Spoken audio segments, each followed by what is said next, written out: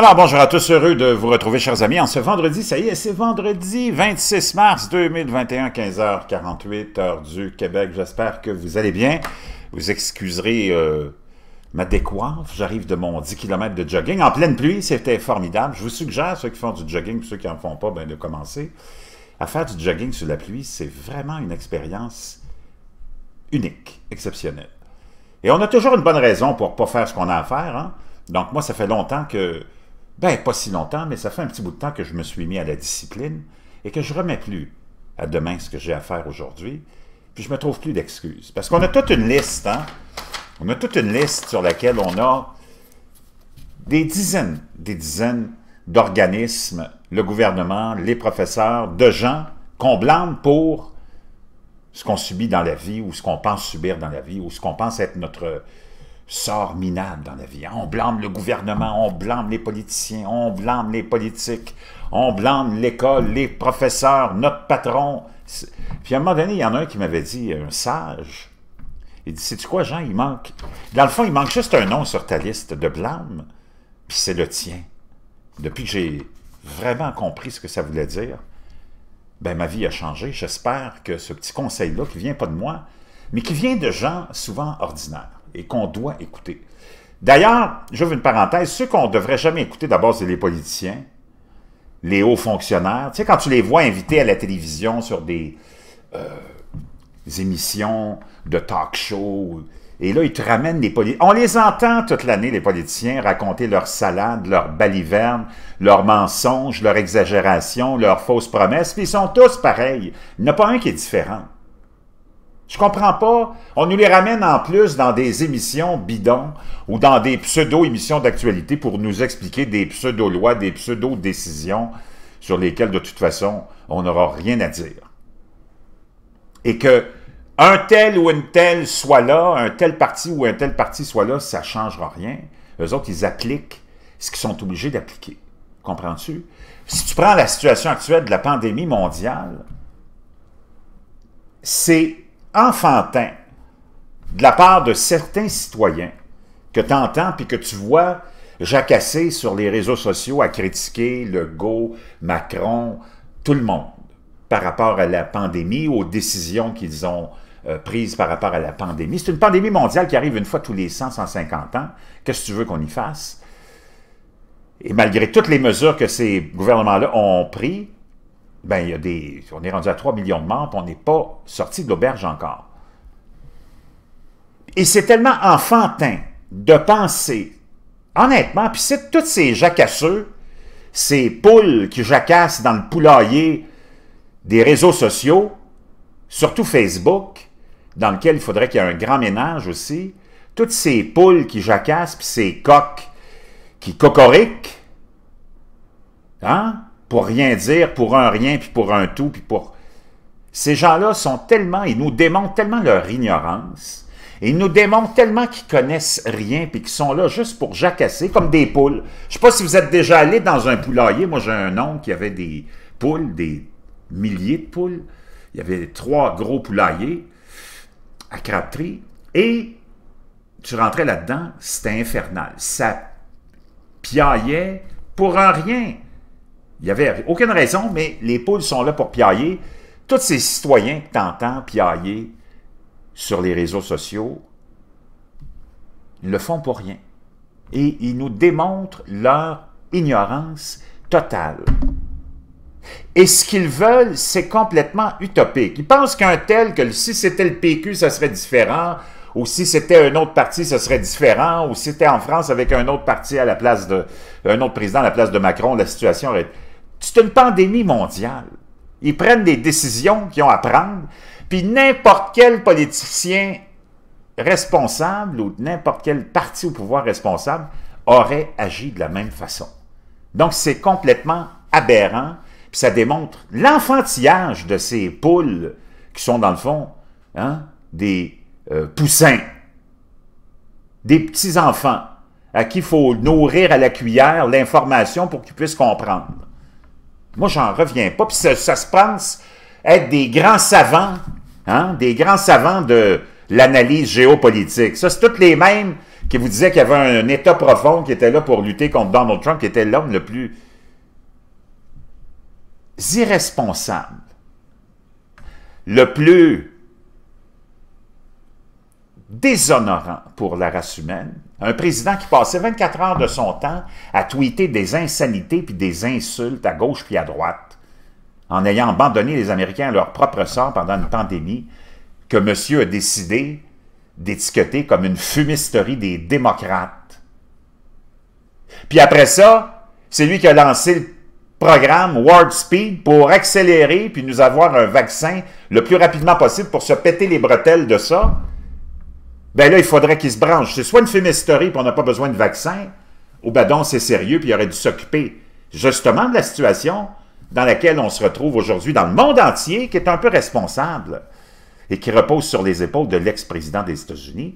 Parce que quand l'ex-président des États-Unis qui dit que les médecins ne savent pas ce qu'ils disent, ne savent pas ce qu'ils font, les scientifiques ne savent pas ce qu'ils disent, ne savent pas ce qu'ils font, il y a juste moi qui sais tout. Puis vous devriez vous injecter de l'eau de Javel, vous étendre face à la lumière, puis prendre une petite shot de lissol. Franchement, c'est du n'importe quoi. C'est du n'importe quoi. Il a mis le monde à feu et à sang. Il a appliqué la politique de la terre brûlée. Puis tu as tous ces marsouins-là, ces grands connaisseurs hein, de la droite conservatrice. D'ailleurs, je ne comprends pas que les Français et les Québécois se soient embarqués dans un mouvement comme celui de Trump, alors que ce sont tous des gauchistes. Mais ils se retrouvent. Tu as les extrêmes qui se retrouvent. Hein? L'extrême droite des États-Unis, du nouveau Parti républicain de Donald Trump, les 35% de racistes, xénophobes, fascistes américains. à l'extrême gauche, tu un, un, groupe aussi de fascistes, extrémistes qui sont anti-immigrants puis qui sont anti euh, tout ce que tu peux imaginer. Et c'est là que ces gens-là se retrouvent. Et tu vois leur ignorance. Ces gens-là demandent des, des tyrans, des, tortionnaires comme, comme dirigeants. Et ils sont toujours en train de dramatiser tout, tout, tout. Ils dramatisent tout. Chaque décision qui est prise pour essayer de minimiser la pandémie, de sauver des vies, puis c'est une maladie que tu ne veux pas attraper parce que c'est pas d'un virus de grippe, ça n'a rien à voir. Puis même Donald Trump l'avait avoué à Bob Woodward dans des enregistrements que je vous ai déjà partagés. Il dit, Bob, c'est cinq fois plus virulent que n'importe quel virus, le plus virulent de la grippe que tu peux connaître. Puis il dit, en plus, ça se propage dans les airs. Il dit, je sais pas qu'est-ce qu'on va faire avec ça. Ça, c'était au mois de janvier 2020. Après ça, il s'en va sur la route, hein, en rallye politique, puis il s'en va dire que c'est une fumisterie des démocrates. Parce qu'il voulait pas que ça touche hein, à sa, aux chances de sa réélection, parce que monsieur pensait à une seule chose, rien d'autre, être élu pour pas être un président d'un mandat. Parce que son orgueil ne le prendrait pas. Lui, il n'en avait rien à cirer des accomplissements. Puis il n'a rien accompli de toute façon, sauf les baisses d'impôts pour les riches, puis mettre plus d'argent dans les poches des requins de la haute finance. Le petit monde, abandonné à lui-même, le petit monde sans soins de santé adéquats, lui, a essayé de mettre la hache dans l'Obamacare. Les républicains ont voulu éliminer l'Obamacare avec aucun projet pour le remplacer. Ça, c'est la dure réalité.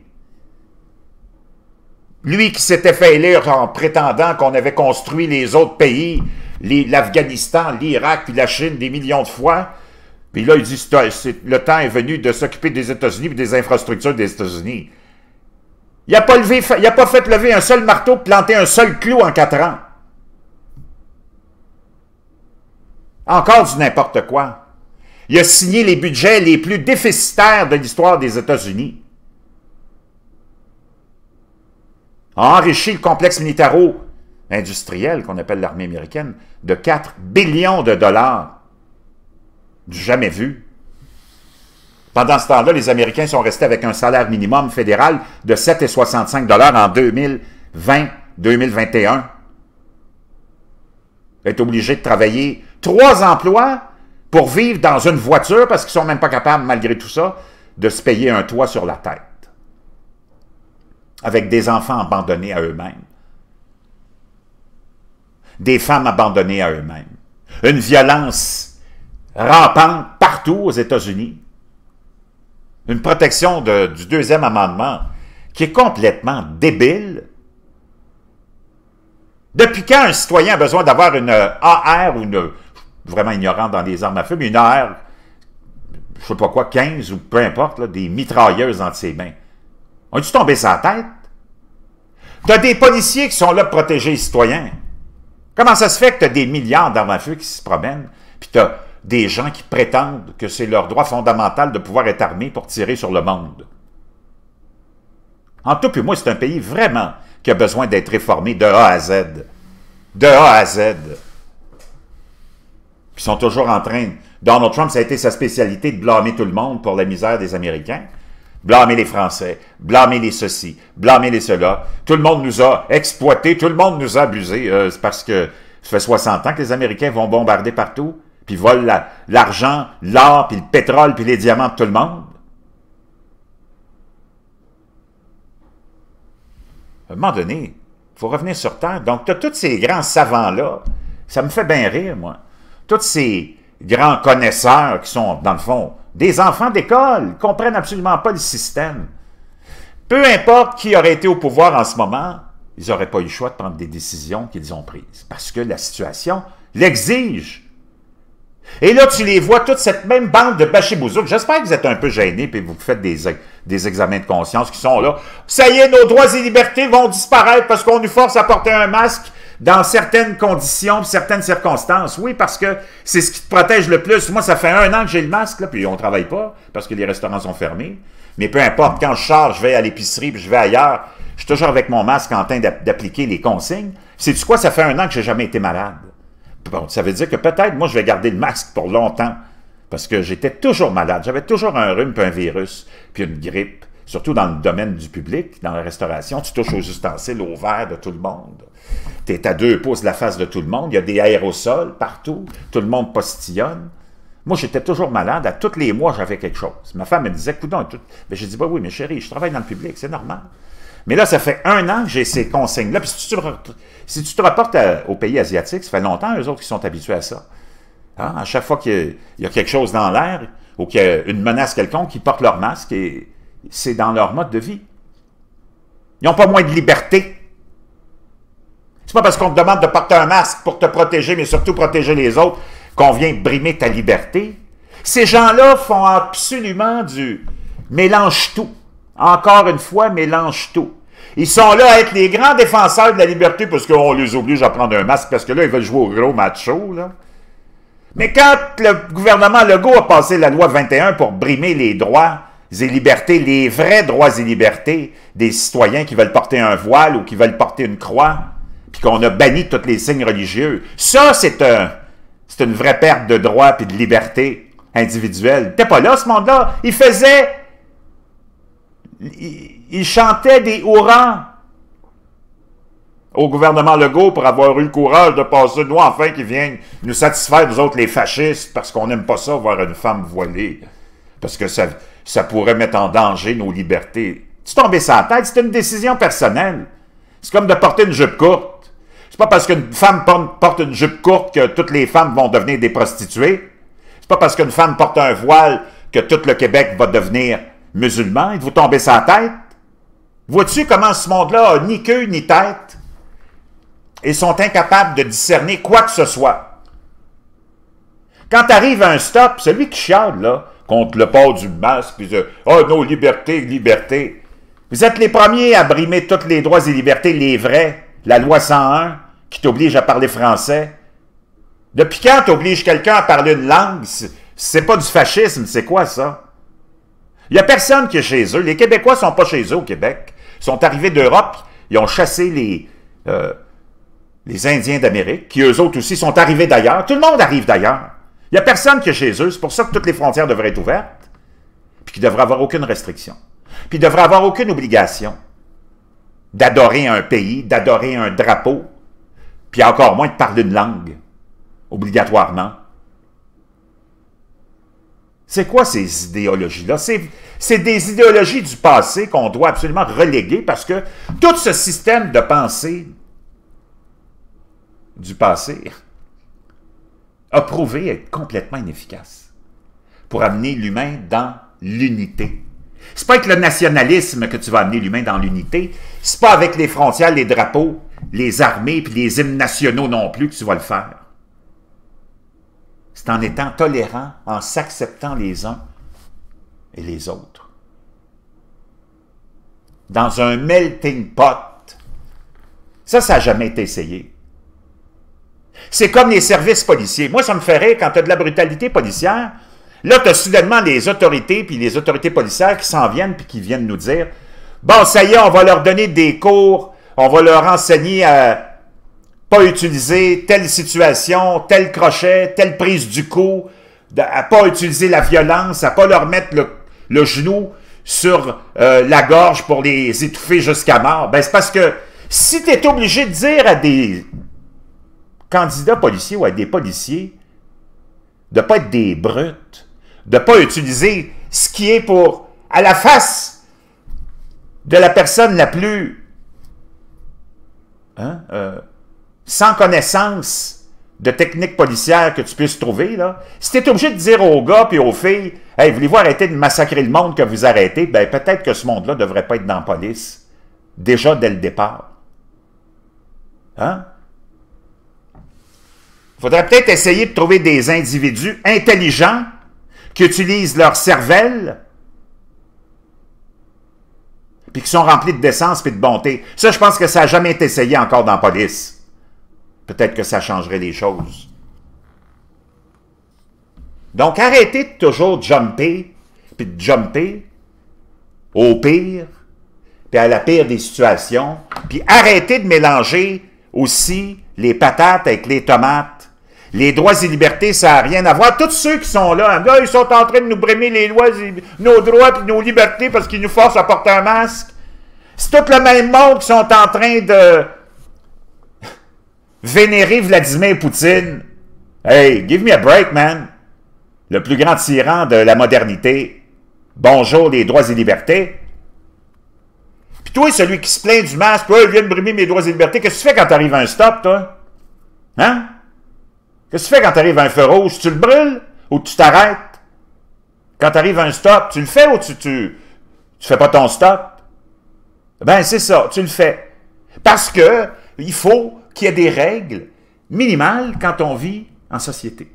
Pour qu'il y ait une certaine harmonie, pour qu'il y ait le moins de dommages et de morts possibles. Imagine si le monde ne faisait pas leur stop, puis si le monde faisait pas leur feu rouge, puis respectait pas la limite de vitesse, ah, parce qu'il dirait, ça vient brimer mes droits et libertés. C'est parce que tes droits et libertés, à un moment donné, ont des limites. Mais les vrais droits et libertés, comme ceux de porter un voile, ou de parler l'anglais, ou le chinois, ou de porter une croix, ça, ça devrait pas être débattable. Ça, ça devrait être intouchable. Mais tu n'étais pas là pour ça, toi. Tu n'étais pas là. Donc, tu essaies de venir nous convaincre. Oh, ben, ça y est, nos droits de liberté, T'es un clown, mon chum. T'es un vrai clown.